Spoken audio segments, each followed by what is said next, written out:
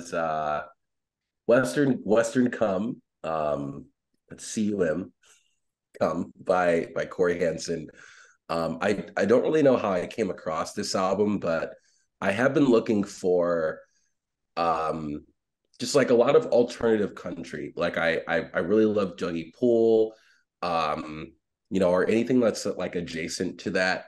Um, really, really like. And I felt like this was like this marriage between country meets punk meets like really hard rock in some parts of it um and also some electronic um sort of uh inspirations there too especially on like persuasion architect. It gets really crazy um the beginning of that song.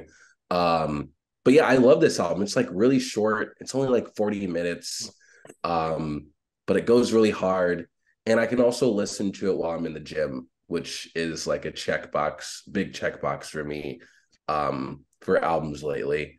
Um but yeah this is it's great. I love the fucking name. The the it's weird the title track actually didn't make it to um the album. So if you guys do want to go and listen to the title track and another song that didn't make it to the album uh he cory released them as singles. Um but yeah it's just like a great alternative rock country album um that kind of came out of nowhere um so yeah, would love to, to hear your guys' thoughts. I love this album. Straight up, I I really really enjoy this album. Like you, Doug, I've I've always sort of enjoyed um, sort of that alternate country stuff, not not the mainstream country stuff, but the sort of parts of the genre that are doing a little bit more musically. Um, and this was the confluence of a bunch of different stuff that I liked. I loved the hard rock. I loved the kind of the, country spirit in the sense of you know you're on, on the open road and the open plains that kind of thing i, I love that and i love the, the crosses with other genres um, so this this really checked all my boxes for me and i sent this album to uh, some people in denver who like had a chance to see the show well i don't know if they did i don't think they saw the show but uh, they were like wow what what kind of a name is this album i, I gotta listen to it gotta go check it out makes it a little challenging to, to, to market to people who you don't know super well. Um, but I really enjoyed like Housefly and Twins. Like this this track, this this album just had a bunch of good tracks for me. Um, so I, I've got nothing nothing but praise. Uh, I hear a lot of country music here in Nashville. In fact, I am so incredibly inundated with Luke Bryan and Johnny Cash and Dolly Parton, and it's just it's fresh breath of fresh air to hear something new in the genre. Um, I think if you were to go to like, you know, a small bar in Nash Nashville, not like one of the ones on Broadway, but you know, just like a like a little dive, I would not be surprised to see these guys here. You know, I I haven't listened to just like a straightforward like rock album in a long time, especially not a new one.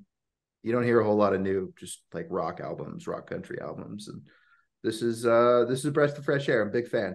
Um, driving through heaven big standout for me. I wasn't expecting a, you know, 10 minute long, just guitar, no vocals song.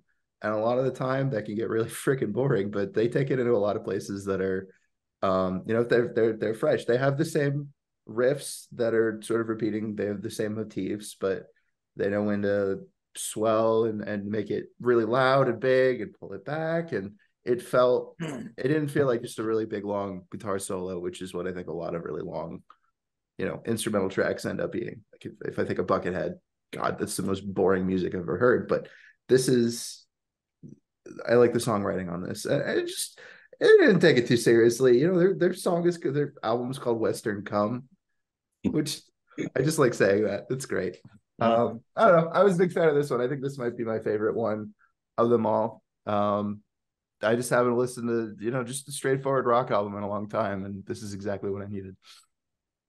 Yeah, this album is awesome. Driving Through Heaven, I agree, is epic. That song is like takes you on a journey. Um, if you're if you're watching this and you're like, oh, I don't like country music, I'm not gonna listen to it. It's not. I feel like it's not that country. Like it's country inspired, but like it's it's a rock album, um, which I love. And it's, it's as country it, as Wilco is country.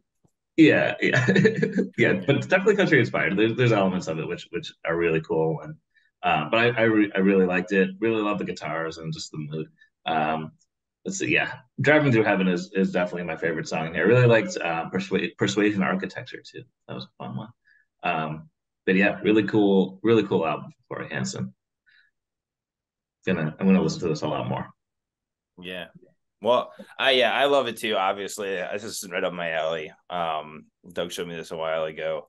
Um, I think uh, well, it's interesting that like I don't know what song it is, but you know, it'll it'll be like really chill, and all of a sudden it goes like no no no no no you know like uh, persuasion architecture yeah, persuasion yeah. architecture yeah. yeah um I, I remember just like being like well that was unexpected but awesome you know like moments like that are like keep it really engaging. Um you know houseflies just super catchy. Um yeah just awesome stuff. And I, I yeah i was gonna say the same thing about the country um influences but it's definitely not a country album. But i but it's it's important to talk about like you know you hear that that it it's in there like somewhere you know?